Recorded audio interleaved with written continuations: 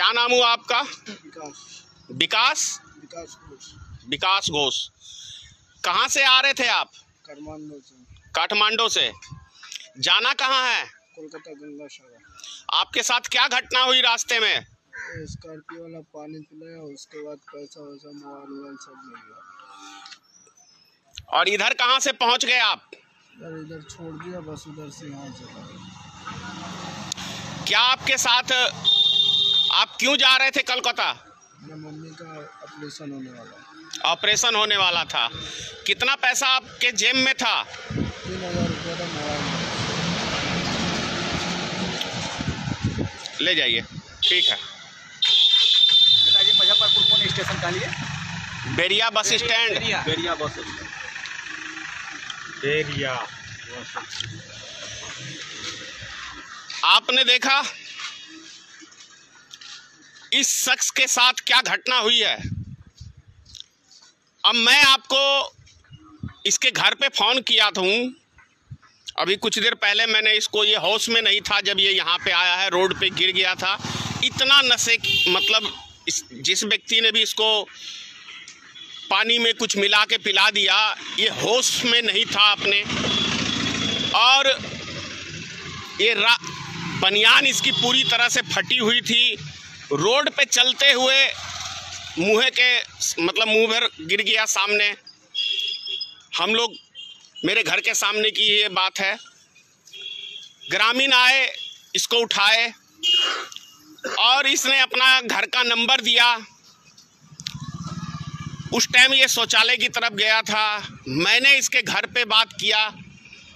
इसके घर के इसकी माँ का जो इसने कहा कि मेरी माँ की हालत सीरियस है, ये सत्य है, इसकी माँ का ऑपरेशन होने जा रहा था। हालत सीरियस था।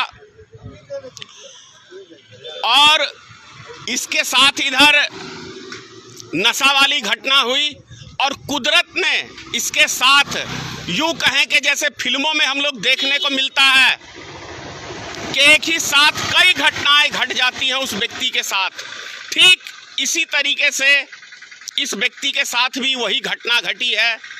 इधर इसको नशा खिला के इसके सारे, एक हनुमान जी का लॉकेट था इसके गले में, अंगूठी थी, तीन हज़ार रुपया था, कपड़ा, लत्ता, मोबाइल, सभी चीज़ इसका छीन लिया गया और उधर उसने, क्या कहते हैं, कुदरत ने इसके साथ इतनी बड़ी बेइंसाफी की कि इसकी माता को अस्पताल में छीन लिया। यानी कि उसकी मृत्यु हो गई और मृत्यु हो गई इलाज के बिना।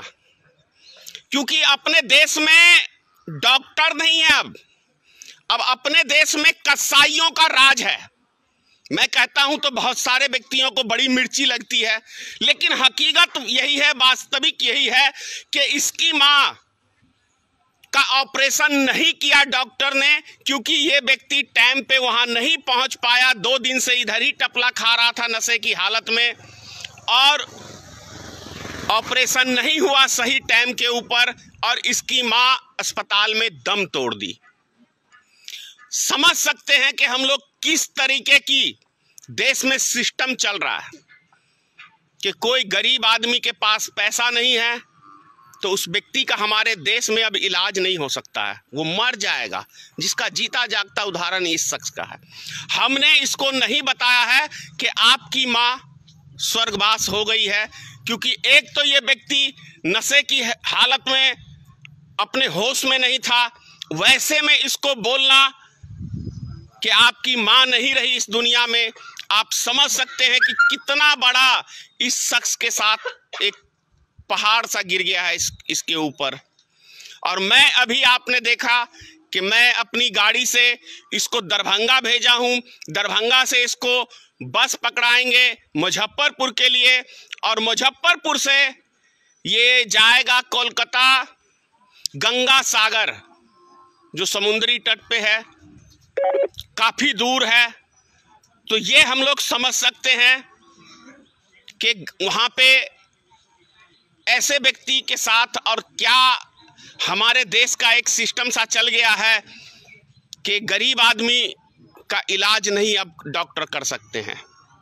हमारी सरकारी व्यवस्थाएँ सारी खोखली हैं, झूठी है फ्रॉड है। क्योंकि सरकार सिर्फ़ प्राइवेटकरण के ऊपर ध्यान दे रही है और प्राइवेट का मतलब यही है कि आपके पास पैसा है तो आप जाएँ, वरना आप जैसे उसकी एक मौत हुई है, और उससे भी दुर्भाग्य की बात है कि प्रशासन तक उसका अंतिम संस्कार करने से वहाँ मना कर दिया है। यह भी एक दुर्भाग्य की बात है कि प्रशासन भी उसकी लाश को लेने से मना कर दिया। और उसके चाचा ने भी कहा है कि ये शख्स आएगा तब। उसको चाचा को नहीं पता कि इस शख्स के साथ क्या घटना हुई है। सिर्फ़ चार साल की इसकी एक बहन है। पिताजी की मौत हो चुकी है, माँ की मौत हो चुकी है। तो समझ लीजिए कि हमारे देश में क्या सिस्टम चल रहा है। क्या ज़्यादा कहूँ? जय हिंद। अगर आप चाहते हैं, गरीब हर वंचित इंसान की आवाज़ आप तक पहुँचे तो हमारे चैनल को सब्सक्राइब करें और बेल आइकन का बटन दबाना ना भूलें। देखते रहिए भजन न्यूज़।